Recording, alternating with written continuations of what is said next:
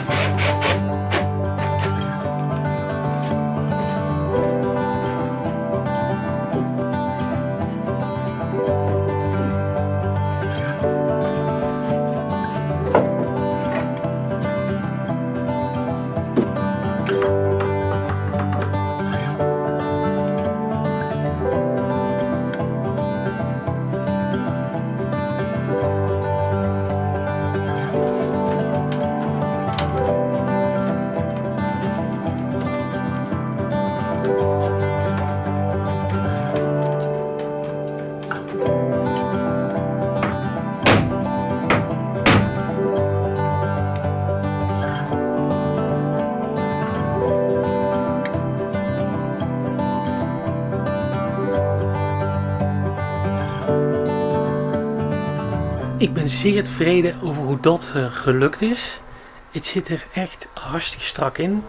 Hier en daar een klein detailtje, maar dat geeft niet. Dat kunnen we nog wegwerken tijdens de afwerking straks. Dus het komt helemaal goed. Maar het zit helemaal verlijmd. Het was even uh, spannend om uh, die dwarsbalken er op tijd in te krijgen. Omdat de houtverbindingjes echt super passend waren, moest ik de lijmklem gaan gebruiken. Want met de houtlijm erop, um, ja, die droogde toch vrij snel. En was het af en toe eventjes, uh, eventjes flink doordraaien om uh, goed erin te krijgen. Maar het is gelukt. En het is super stevig.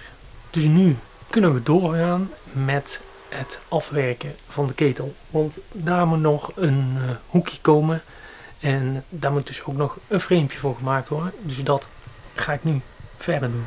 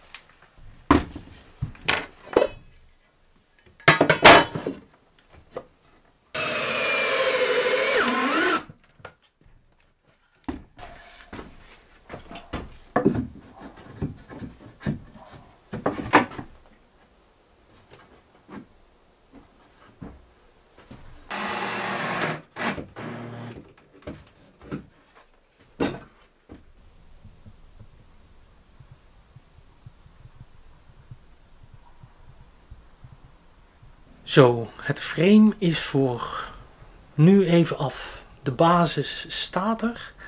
En uh, nu moet ik even verder met de elektriciteit. Ik weet inmiddels waar mijn schakelaars komen. Natuurlijk bij de deur als je binnenkomt dit licht aan te kunnen doen. En we willen een infraroodpaneel ophangen. Dus daar moet stroom naartoe en de schakelaar. Want om dat uh, infraroodpaneel wil ook zo'n ledstrip hangen. Dus dat werkt dan ook als licht. We hebben nog op een paar plaatsen stopcontactjes. Dus daar moet dan ook stroom naartoe. Dat is allemaal redelijk eenvoudig. Maar toch moet ik het goed doen. je wilt toch overal bij kunnen mocht het ooit uh, iets misgaan. daar gaat eigenlijk nooit iets mis. Maar je wil gewoon dat dat netjes en goed is uh, gemaakt. En dat je op verschillende uh, plekken toch van die verdeeldoosjes hebt waar je eventueel bij kan om nog iets extra's aan te sluiten. Um, ja, dus ik ben een beetje aan het denken ook van mm, welke draden er allemaal door uh, de buizen moeten, waar die doosjes moeten komen hangen en hoe ik dat zo efficiënt en overzichtig mogelijk kan doen. Ik heb natuurlijk uh, hier de meterkast en daarboven zit dan een verdeeldoos. Die moest daar hangen omdat daar een vrij kort draadje uit, het, uh, uh, uit de achterkant van de muur kwam. En daar moest stroom naartoe, want anders had de rest van het huis geen stroom. Dus ja, die verdeeldoos die zit daar achter weggestopt. Ja, kan vanaf deze kant kan nog redelijk bij. Maar ik wil even iets lager een verdeeldoosje gaan maken waar vanuit ik um, ja, alles opnieuw kan verdelen. Die dan iets centraler zit en dat als je hier het meterkastje openhaalt, dat je daar gewoon goed bij kan. Dus dat is één. En vanuit daar uh, ja, ga ik de stroom verdelen en de leidingen leggen.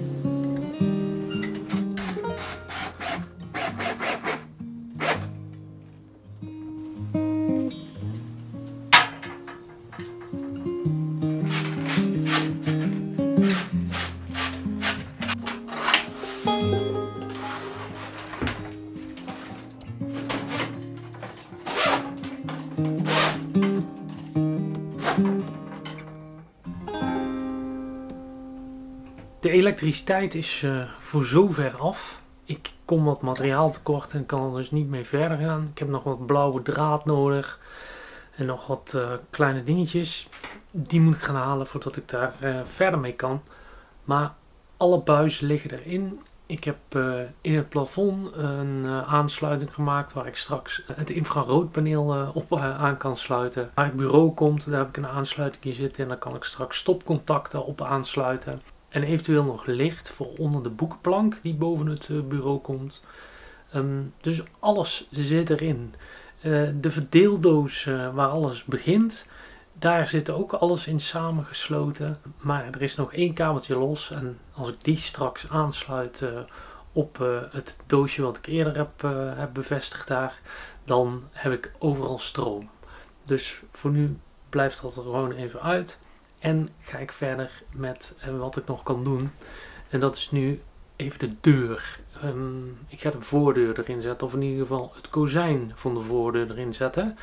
En dan verder het halletje afmaken. Ik heb uh, het oude kozijn van uh, wat hierin zat, van de berging, heb ik helemaal geschuurd en opnieuw geschilderd. En ook de voordeur heeft een opknapbeurt gehad. En daar ga ik nou aan beginnen om in ieder geval het kozijntje er aan de voorkant in te zetten. En dan ook het laatste stukje muur nog uh, af te maken.